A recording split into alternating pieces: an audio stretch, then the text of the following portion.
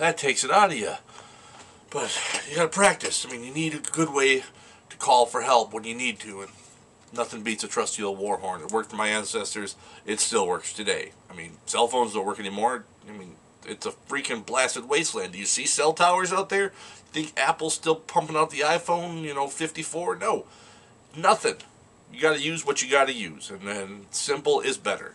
Um, speaking of simple is better, this movie, uh, Troll Hunter. I, I can't say enough good things about this one. Uh, this one, it comes out of Norway, um, and there's already talk about an American remake because America has to remake everything because typical American audience, well, we can't handle the subtitles. It, has words. We're just supposed to watch the pretty pictures. But I won't get into that right now any more than I just have. But um, this is it's a fantastic film. It's it's done um, pretty much you know what what is now known as the Blair Witch style, um, and it's basically the story is these college students they're they're for, filming this uh, documentary on some bear poachers, and they end, um, end up uncovering this great conspiracy that there are trolls in the uh, the wilds of Norway. Um, there's this gentleman Hans who is played brilliantly by uh, Otto. Believe it's Jespensen or Jesperson. I'm screwing up the names. I hate doing that, but he he steals every scene he's in. He is great. He is fabulous.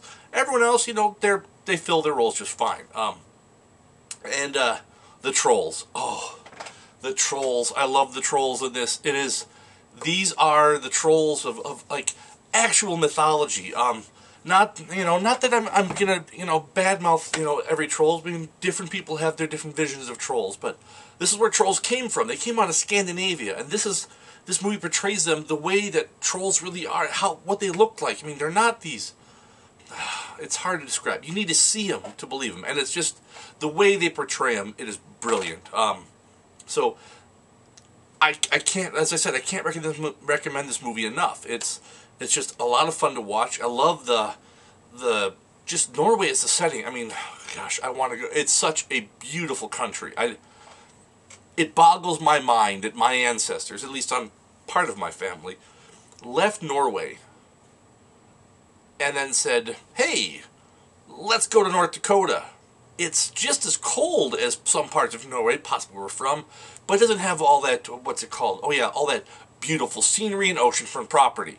Um, so the settings are gorgeous. It's it's just a beautiful country. Um, at least the parts we get to see. I'm sure it has its ugly spots too, like everywhere else in the world, but beautiful. One of the other great things, um, much like the Blair Witch, there's no music. The only music you ever get to hear is is what's playing on like car radios and stuff like that. It does a lot to set the the scene, you know, the especially you know when they're out looking for the trolls and stuff like that. It it sets the scene so beautifully because there isn't a soundtrack to real life.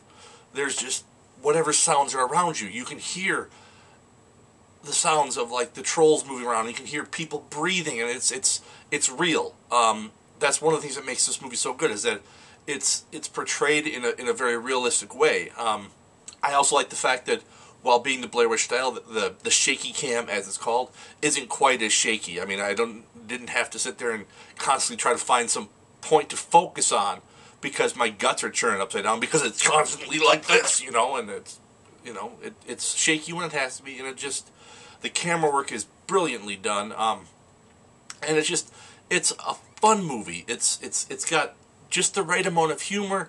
It's got a great amount like kind of kind of like creepiness and just the whole kind of fascination with the unknown. Um, so I would definitely recommend this to everyone. You have to see this and see the original.